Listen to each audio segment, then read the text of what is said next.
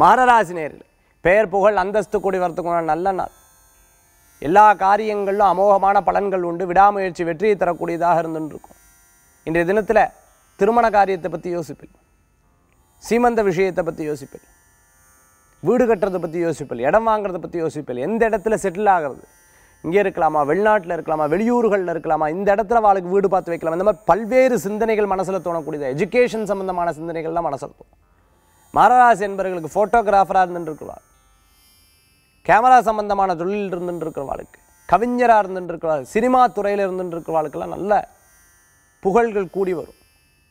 ஒரு அற்புதமான வாய்ப்புகள் தேடி வரும். அந்த வாய்ப்புகளை அருமையாக பயன்படுத்திக்கிறது விசேஷ பலன்கள். கார்பெண்டராக இருந்துட்டு மர சம்பந்தமான தொழில் கிரானைட் சம்பந்தமான தொழில் பண்ணிட்டு இருக்கிறவாளுக்கு ஒரு புதிய கான்ட்ராக்ட் ஒன்று கிடைக்கிறதுக்கு உண்டான வாய்ப்புகள் நிறையா இருக்குது அதிர்ஷ்டம் தரக்கூடிய அற்புதமான எண் ஏழு.